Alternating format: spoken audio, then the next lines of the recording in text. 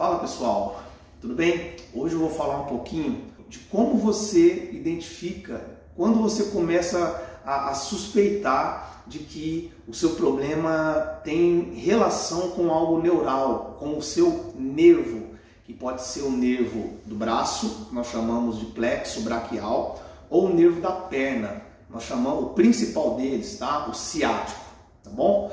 Então, é bem comum é, é, tudo que tem dor na coluna, cervical, coluna lombar, sempre o paciente, né, tentar é, é, identificar assim, ah, essa dor, de onde vem, tem alguma coisa fora, será que é o nervo, será que é o músculo? Sempre tem essa dúvida, tá? Eu vou tentar passar algumas orientações aqui. Primeira coisa, a dor que vem do nervo, muito provavelmente esse paciente ele vai ter sintomas de sinais de formigamento.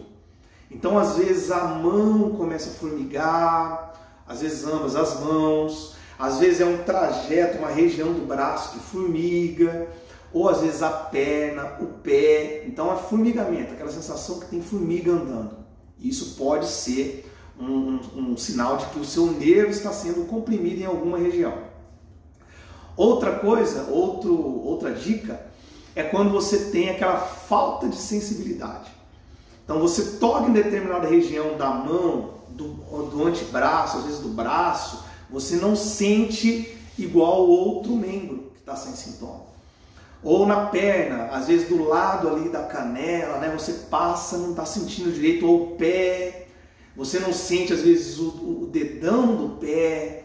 Então a falta de sensibilidade sugere algo que envolve o nervo. Outra coisa é a dor. A dor neural ela é bem incapacitante, é bem diferente daquela dor que está localizada na coluna. Então a dor neural ela tem um trajeto normalmente. Então ela começa, na, por exemplo, na cervical e desce para o braço. É como se fosse um choque elétrico.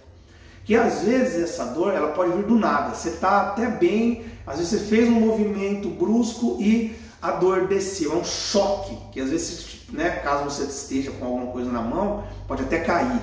Ou na perna, geralmente na parte posterior da perna.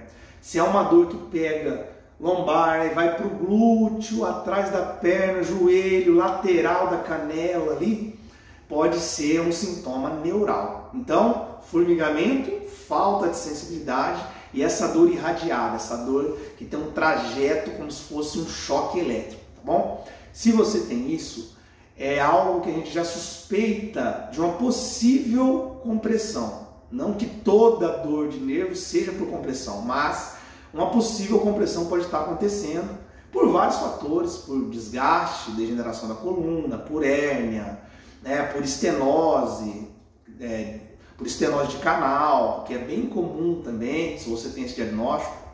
Mas o lado bom é que tudo isso tem tratamento, tá bom? Só que diferente do que muitos pensam, não é com somente com medicamento ou somente fazer algum tratamento ali, ah, vou fazer uma sessão de alguma coisa ali para tentar melhorar. Não é assim que trata, principalmente a dor que tem pode ter envolvimento neural. Tá joia? Você vai precisar de fato fazer um tratamento sério, porque isso pode piorar bastante com o passar do tempo.